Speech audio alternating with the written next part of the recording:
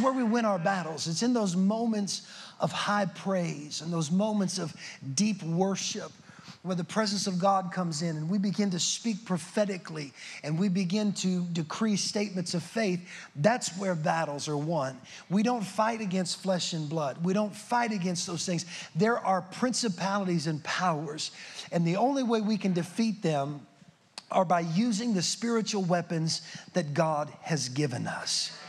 And I just need to sometimes remind you of how dangerous your weapons are, how sharp your sword is how powerful your praise is. I'm gonna say what I said just a few minutes ago. I believe praise does some things. I believe praise invites and invokes the presence of God into your life and into every circumstance and situation. I believe praise causes the Spirit of the Lord to move in power and to move freely in our lives and in our services. I believe praise still sets out ambushments against the enemy.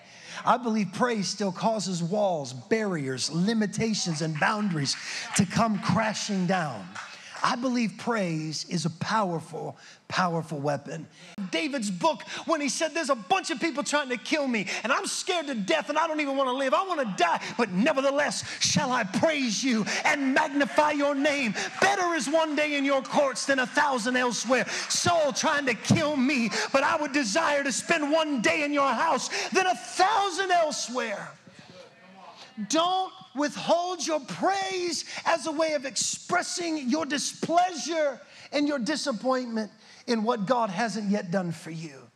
Use the pain to run to his presence and use the hurt and the confusion to drive you to a place of exalting Him and saying, No matter what I feel, no matter what I'm going through, you are still above everything else in my life. I will praise the Lord. Why don't you take seven seconds and put it into practice? Praise the Lord. Praise the Lord. If praise is a good thing and it's a pleasant thing, then I think we ought to do it. No matter what we're feeling, no matter what we're facing, we ought to praise the Lord. Praise, the third thing that it tells us in this verse, is that praise is attractive, it's comely. In Isaiah 52, the prophet Isaiah gives an instruction to the people of Zion. He said, Put on your strength and put on your beautiful garments the fact that Isaiah had to tell them to put those things on leads me to believe that strength and beautiful garments will very rarely come onto you. You got to put them on. He said, You put them on. It's a decision you have to make. The choice is yours, the burden of responsibility lies on you. You got to choose to put on your strength and your beautiful garments. Now, some of you may have come to service today, coming straight from work or whatever, but Sunday morning is really our day to just get dressed up. You know, some of us for dress, it's what I'm wearing tonight. Some of you maybe put on a sports coat. Some of you ladies wear a dress. But Sunday, when we come to church, we, we really try to dress cool. You know, we do. We, we try to dress good and we try to look our best. The old phrase is Sunday best. Are y'all with me? Now, before you come to church on a Sunday morning, whether you are male or female, you go through your wardrobe, you go through your dresser drawers in your closet, and you try to find the right outfit. What's gonna make me look good today? What am I in the mood to wear? I'm Ruth and I got a dress to find my Boaz. You go through your stuff and you try to find the outfit that you're in the mood for and that's really gonna make you feel comfortable and perhaps even self confident. Well, some of us have been going through our spiritual wardrobe, our spiritual closet, spiritual dresser drawers. And we've been choosing clothes like sorrow and sadness, pity, the garment of heaviness I just came to tell you that don't look good on you. Some stuff you just shouldn't wear. don't make me get on this. If you all don't shout, I'm going to get on it. Because some things are not flattering on certain people.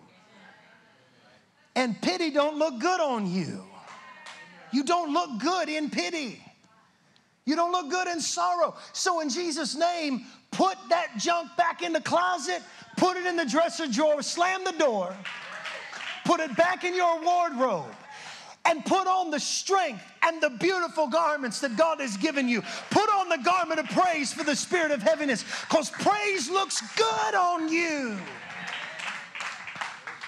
Praise is attractive. And you know, I've come to find that what you wear, like physically wear, attracts certain things to your life. There's times that I'll go out into public and I'll be totally unshaven. I know I have a beard, but it can get worse. I'll be wearing a ball cap or some baggy shorts or something. I dress like that on purpose because I know if I go out like that and I'm wearing a ball cap, that ain't nobody from our church or from anywhere else that's ever seen me is gonna know who I am. Now y'all gonna be looking for me in a ball cap. I've walked right by people that I know and they don't recognize me because I'm not in my church apparel.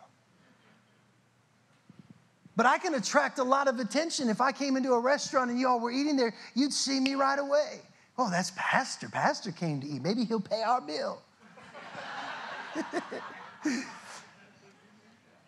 what you wear attracts certain things to your life. And I've gone into some nice department stores over the years, and I've gone into those stores sometimes wearing that kind of an outfit baggy shorts and maybe some sweatpants, a tracksuit.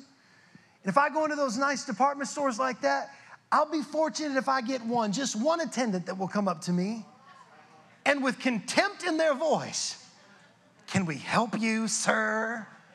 Like I ain't even supposed to be there. But if I go into those same stores wearing me some smooth shoes and some nice clothes and a fancy watch, man, I get five or six of them. Can we help you, sir? Be an honor to serve you. Just let us know if we can help you pick anything up. They all over me. What you wear attracts things to your life.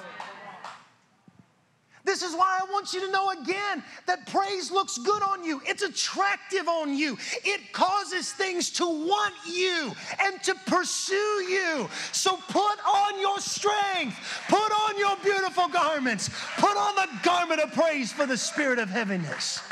Praise looks good on you. And I'm going to tell you in about five minutes as I get ready to close here why attracting things is so important and what your praise will get you to attract. But you've got to go to verse 2 and verse 3 with me to understand this. He talks about praise and then immediately a strict, harsh transition into a whole other subject. The Lord builds up Jerusalem, He gathers together the outcasts of Israel, He heals the broken hearts, and He binds up their wounds. Let me just build on this for a minute. God is looking to develop his church, Jerusalem. He's looking to increase it, he's looking to develop it, he's looking to build it up. But he's looking for a certain type of people. And if y'all don't shout here, I'm gonna come lay hands on you because you are these kind of people. He is not looking for the put together and the perfect. He's not looking for those that don't have emptiness or have need. He is looking for outcast and broken up people. He's looking for the hopeless and the helpless, the lost and the dying, the hurting, and those that are in pain.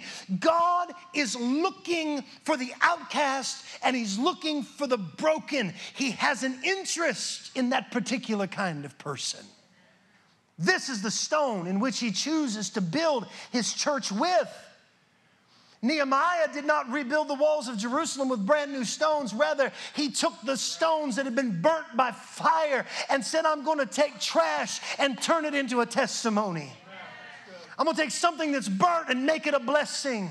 And God is looking for those who have been outcast, those who have been broken, those who have been rejected. Why is God interested in the broken? Why is He interested in the rejected?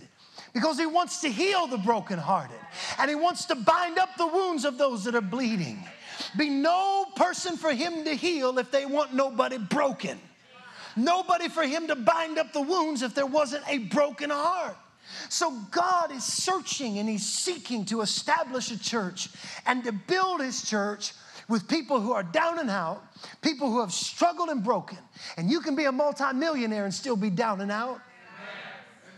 And you can be living in a box and be up and in. Don't have nothing to do with economic condition.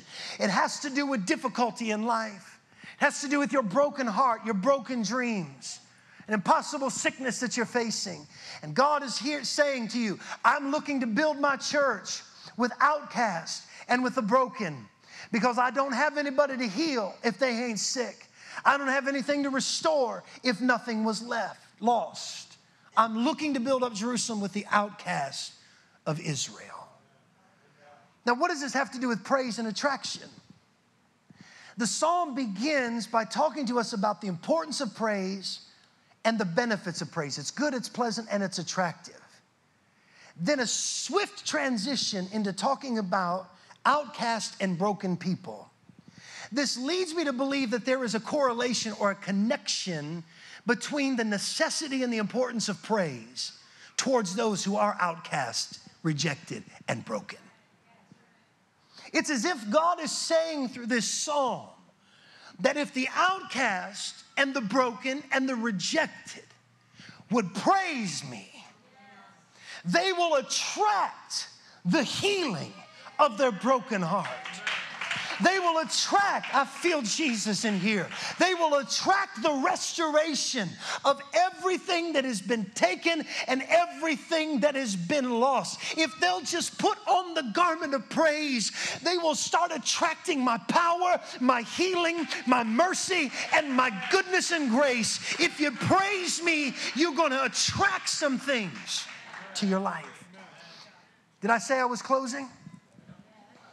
I got mixed reviews, so I'm gonna go with the one that said no. God is looking for praise, specific praise, and I wanna end. I promise I'll end here because this is the last chapter in Psalm. I have no further to go. Y'all, we get started on Proverbs, we're gonna be here a minute now. Psalm 150, talking about specific praise. Psalm 150, verse 1 begins again with the instruction, the command, praise the Lord. Now, it tells you in Psalm 147 what the benefits of praise are. This tells you where to praise and why to praise. Praise Him in His sanctuary, praise Him in the firmament of His power. Can I, can I talk a little bit about this? Every one of us needs to have a prayer life and a praise life that's outside of the church in your car. I came in last Wednesday night and pulled up to somebody. I don't know who she was, a woman. And let me tell you something, she was praising God. Kirk Franklin was bumping, and she was at the stoplight, lost in the glory. I just drove by, like, yeah, yeah. you need to have a prayer life and a praise life outside the church, at home. But you have to bring that private prayer life and that private praise life into the corporate setting of the house of God. Come on, man. Come on. Okay, okay. Let me explain it to you like this. If you would spend, and I, and I, I know we need to have fun, we, we should have fun. We enjoy things. My wife and I, like movies, we like watching sports, we like listening to music sometimes from the 90s and music from the 60s. So we're not living up here in spiritual la la land, okay? But if you're feeding yourself a constant diet of secular things, this is why it takes the worship team 37 minutes on a Wednesday night before you start moving.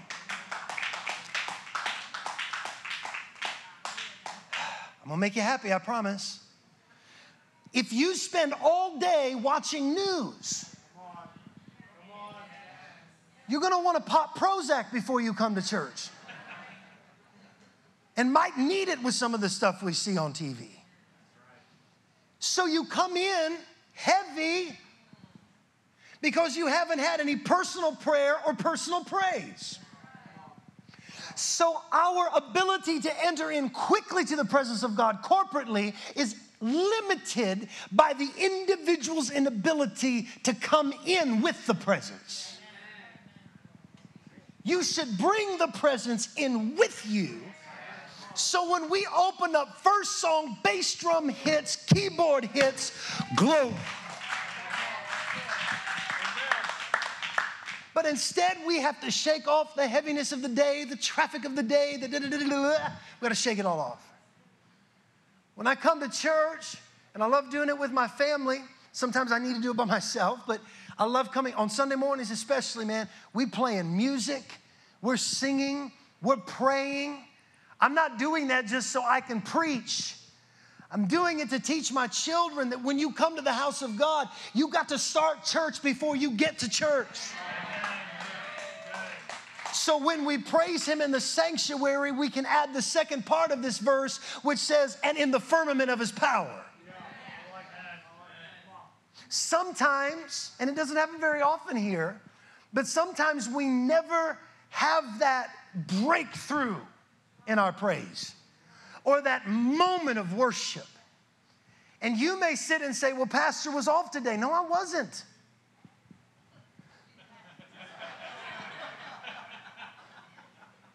I pray too much to be off. I study too hard to be off. Been doing this for 20 years. I'm not off. I may be a little bit more on some days over another. But, but the switch ain't ever flipped completely off. I at least got a little spark floating through the socket. Maybe it was the worship team was off. Maybe you were off. Maybe too many of you came dragging tail into this room, sad, despondent, and depressed, and it took 45 minutes just to make you feel like Jesus was alive. And we missed the moment to bring the firmament. What is the firmament? It's the hottest place of the fire. It's the most powerful, transforming place in the presence of God. And if we would bring our private prayer life, our private praise life into the sanctuary, we would instantly get to the firmament. And it's necessary. And I think you'll give me a witness here. I've felt some amazing moves of God and felt the presence of God in my hotel rooms, in my living room, in my bedroom. I've felt God in so many places. But there ain't nothing like what you feel when you're in the sanctuary. So I think you can feel his power at home, but the firmament is here. The firmament of his power is where? In his sanctuary. This is why we must never miss an opportunity to praise Him as big, as loud, as good, and as with much abandon as we can, because we need the fire to show up. We need the power to show up. We need miracles to show up.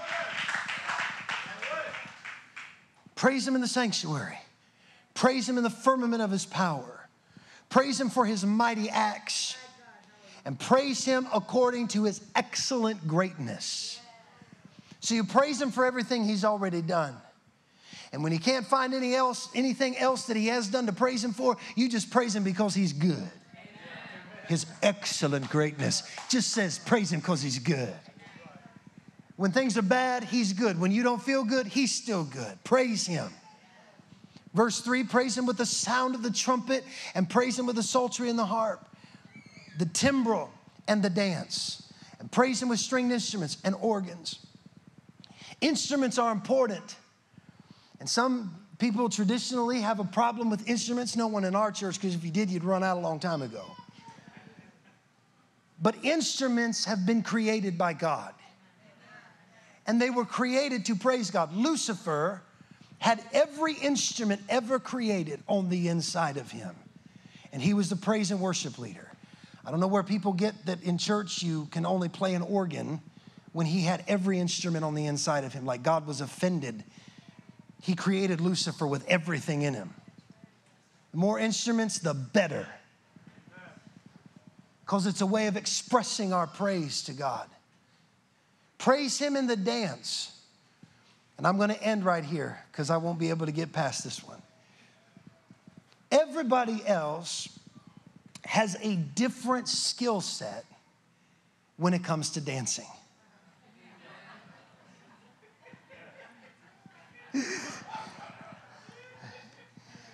Can we just have fun and just laugh at ourselves?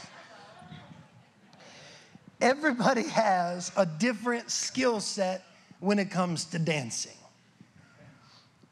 And everybody has a different level of comfortability when it comes to dancing. Now, some people that can dance, they don't have a problem dancing at a wedding or whatever, but when they come into church, they get tight.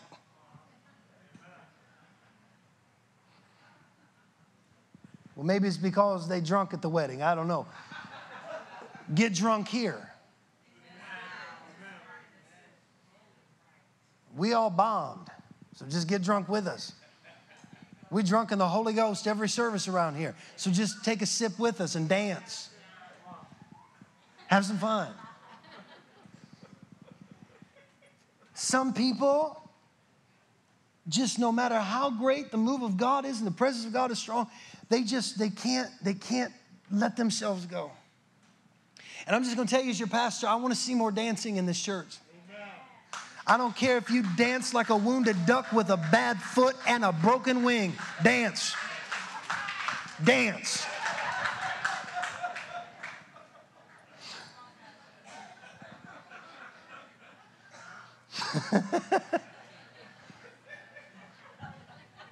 maybe you smooth, dude. Maybe you got moved. Dance.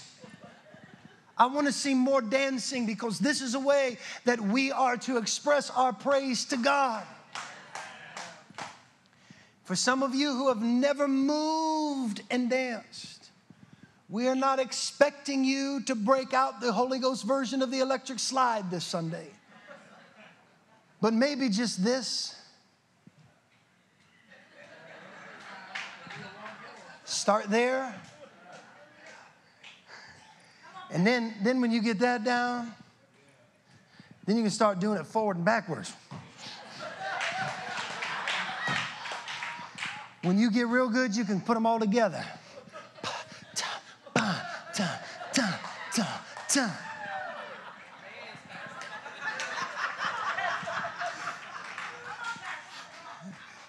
Some of y'all could just stick your one leg up and go like this.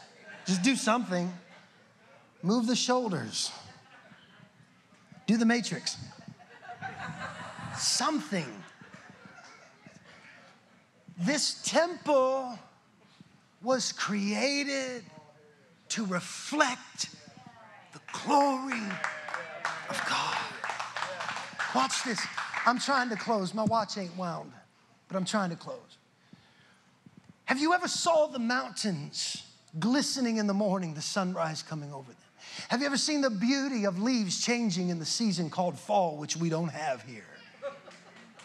Have you ever seen the waves of the ocean cascading over one another, erupting over top of one another, splashing on the sea? Has anybody ever seen natural beauty or seen a rose begin to open? We have these rose bushes in our backyard, and I, I sit out every morning and drink my coffee, and I see these roses as the sun gets brighter. They're closed in the morning, but I see them opening as the sun comes up right before my very eyes. Has anybody ever seen something like that and said, Man, God is good. Nature reflects His glory. The beauty of it reflects His beauty. And I think you need to understand that when you dance, even though you may have two club feet, when you dance, you're like that rose in the morning, opening up and showing the glory and the goodness of your Creator. So dance, so praise Him, magnify Him. It's one of the ways we reflect the beauty of our Creator. We got to dance. Let everything that has breath young, old, rich, poor, black, white, brown, or stuck in between Whether you're A personality, B personality, or you are in your own category called the F and G personality, I don't know what category it is, praise Him. Everything that has breath. If you're breathing, you are borrowing His breath. And when you release that breath, you're acknowledging to Him, I'm being a good steward with what you lent to me. Let everything that has breath praise the Lord. The good times, the bad times, and the in between. Because praise looks good on you and it attracts things to your life. Favor, blessing, restoration, healing, God's goodness, mercy, and grace. Praise attracts those things to your life. So, new beginnings, why don't you get up on your feet and let everything that has breath praise the Lord? Come on, let everything, let everything that has breath praise the Lord. Y'all ain't shouting big enough. You're not clapping loud enough. Let everything that has breath, let everything that has breath praise the Lord. For a donation of $20 or more, we would like to thank you by sending you Pastor Jonathan's three part series, Light. Just visit our website and click the Donate Now link. Thank you for your support.